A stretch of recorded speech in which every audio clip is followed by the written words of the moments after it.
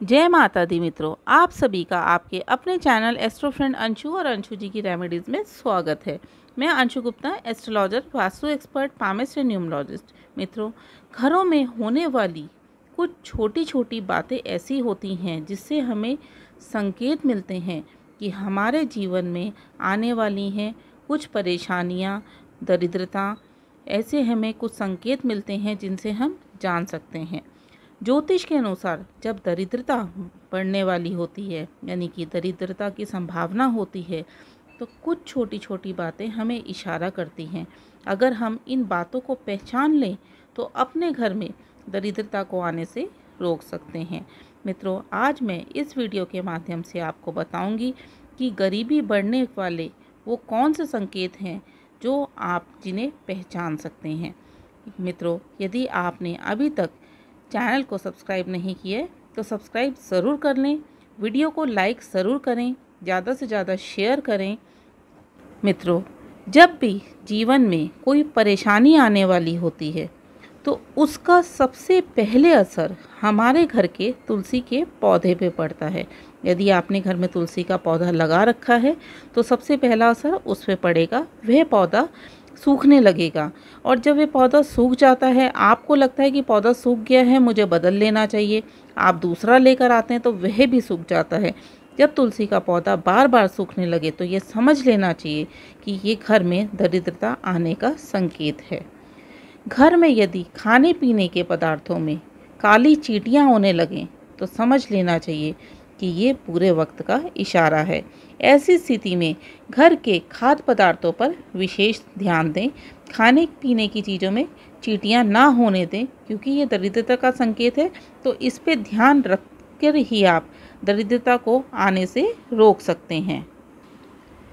यदि आपने घर में पेड़ पौधे लगा रखे हैं और उनकी पत्तियाँ सूखने लगी हैं तो ये भी घर में गरीबी और दरिद्रता का संकेत है। ऐसे में पेड़ पौधों पर आपको विशेष ध्यान देना चाहिए, उन्हें सूखने नहीं देना चाहिए। नियमित तौर पर जल देना चाहिए। यदि कहीं से कोई पत्ती सूख रही है तो उसे काट दें। आप पेड़ पौधों का विशेष तौर से ध्यान रखें। यदि आप ध्यान रखते हैं तो आप दरिद्रता और गरीबी को अपने जीवन से दूर कर सकते हैं। घर में झाड़ू लक्ष्मी जी का प्रतीक होती है, क्योंकि झाड़ू हमारे घर से दरिद्रता को दूर करके सुख समृद्धि व खुशहाली लाती है। झाड़ू पर कभी भी पैर नहीं लगाना चाहिए, ना ही झाड़ू को कभी ऐसे स्थान पर रखना चाहिए जो आने जाने वाले लोगों को कहीं से भी दिखे। झाड़ू को हमेशा छुपाकर व संभाल कर रखना चाहिए। झाड़ू पर पैर लगने से माँ लक्ष्मी रुष्ट हो जाती हैं और उस घर में गरीबी और दरिद्रता का वास हो जाता है। इसलिए झाड़ू का हमेशा ध्यान रखें, झाड़ू को हमेशा संभाल कर रखें। अब यदि आपके घर में कोई छोटा बच्चा अचानक ही झाड़ू लगाने लगे तो समझ लेना चाहिए कि आपके घर में कोई मेहमान आने वाला है। सूर्यास्त के बाद कभी भी झाड़ू नहीं लगानी चाहिए। सूर्यास्त के बाद यदि आप झाड़ू लगाते हैं तो घर में दुर्भाग्य को आमंत्रण मिलता है। रोज़ सुबह घर में ब्रह्म मुहूर्त में झाड़ू लगाना चाहिए। यदि आप रोज़ सुबह ब्रह्म मुहूर्त में घर में झाड़ू लगाते हैं तो ये सबसे शुभ माना जाता है। झाड़ू को कभी भी उल्टा नहीं रखना चाहिए। झाड़ू को कभी भी खड़ा करके नहीं रखना चाहिए। यदि आप झाड़ू को उल्टा रखेंगे या झाड़ू को कहीं पे खड़ा करके रख देते हैं तो ऐसे में घर में लड़ाई झगड़े बढ़ते हैं। घर में टेंशन का माहौल बना रहता है, परिवार में कलह कलेश रहता है तो ध्यान रखें कि झाड़ू को कभी भी उल्टा ना रखें, झाड़ू को कभी खड़ा करके ना रखें, झाड़ू को हमेशा लेटा कर और छुपा कर रखें। यदि घर का कोई भी व्यक्ति किसी कार्य के लिए घर से बाहर जा रहा है तो उसके जाने के तुरंत बाद झाड़ू ना लगाएँ। यदि आप किसी के जाने के तुरंत बाद झाड़ू लगाते हैं तो घर में दरिद्रता और परेशानी आती है। जब भी कोई व्यक्ति बाहर जाए तो उसके जाने के कम से कम दो घंटे बाद आप झाड़ू लगाएँ। झाड़ू माँ लक्ष्मी का प्रतीक है। इसलिए जैसे हम घर में धन को छुपा कर रखते हैं, उसी तरह झाड़ू को भी छुपा कर रख देना चाहिए। यहाँ वहाँ कहीं ऐसे नहीं रखना चाहिए, क्योंकि यदि झाड़ू यहाँ वहाँ कहीं पे भी पड़ी रहेगी तो उस परिवार की आर्थिक स्थिति खराब रहती है। मित्रों, दूध उबालते समय ज़रूर ध्यान रखें। दूध यदि उबल कर बार बार गिरता है तो ये आपके घर में गरीबी और दरिद्रता का संकेत देता है। और रोज़ रोज़ यदि दूध गिरता है तो उस परिवार में आपस में अनबन बनी रहती है, कलह कलेश पड़ा रहता है। तो ध्यान रखें कि दूध बार बार उबलना नहीं चाहिए, यानी कि दूध बार बार उबल कर नीचे नहीं गिरना चाहिए। यदि आप किसी काम से बाहर जा रहे हैं और घर लौटते समय आपने दरवाजे पर छिपकली देखी हो, अचानक ही आपको छिपकली दिख जाए तो आपको समझ लेना चाहिए कि आपका बहुत बुरा समय शुरू होने वाला है। ऐसे समय में हिम्मत से काम लेना चाहिए, क्योंकि वक्त हमेशा एक सा नहीं रहता तो बुरा वक्त भी टल जाता है। यदि आपको घर में अचानक से छिपकली दिख जाए तो इसे शुभ माना जाता है, ये आपके लिए अच्छी है।